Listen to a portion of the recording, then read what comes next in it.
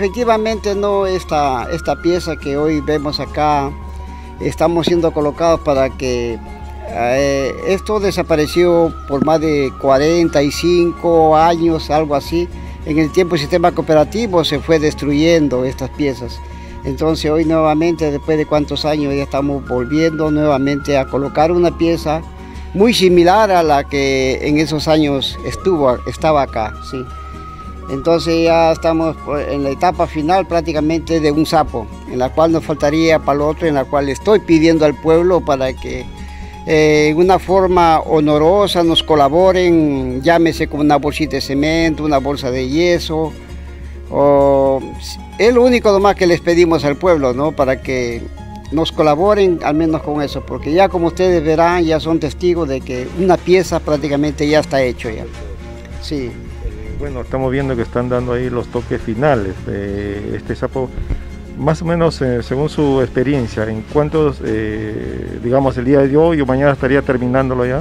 Sí, casualmente yo le pediría, señor Julio, que por lo menos en unos cuatro días de repente ya está culminado ya, porque pensamos adornar los, los pedestales con piezas que ya hemos, tenemos por adentro, que van a adornar más al, a esta pieza del sapo, sí.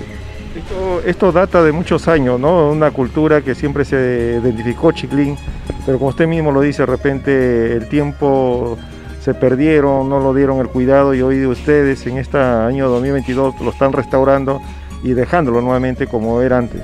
Era más antes, sí, pues sí, efectivamente, señor Julio, que esperamos más que esta pieza que hoy vamos a dejarlo para el pueblo, el pueblo sepa cuidarlo, sepa darle una buena estimación y que se conserve, ¿no? Porque este es, una, este es un sapo mitológico del tiempo de los mochicas.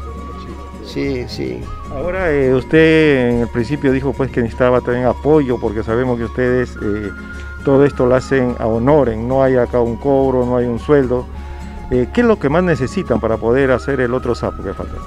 Sí, claro, mire, efectivamente no, nosotros no estamos eh, prácticamente siendo reconocidos honorablemente, no, lo estamos haciendo con voluntad para el pueblo y, lo que le pedimos al pueblo es su colaboración. Ya, ya, le, ya lo vuelvo a decir nuevamente, no lo que necesitamos es bolsitas de cemento, yeso, que, que es el material que se emplea más acá. y también eh, pedir a la población, a los jóvenes, a los niños, a cuidar esta pieza importante, como usted dice, no se data a nuestra cultura chimú. Sí, efectivamente, no vuelvo a recalcarles a todo el pueblo de que sean cuidadosos de lo que estamos haciendo, pues, ya que esto va a estar prácticamente para que todo el pueblo pueda volver a recordar lo que más antes fue este sapo mitológico. Yo recuerdo de que de muy niño yo venía a jugar acá, entonces yo también fui un, prácticamente una persona que hice agravio acá, ¿no? Y ahora como persona que he hecho agravio estoy volviéndolo a hacer nuevamente, sí.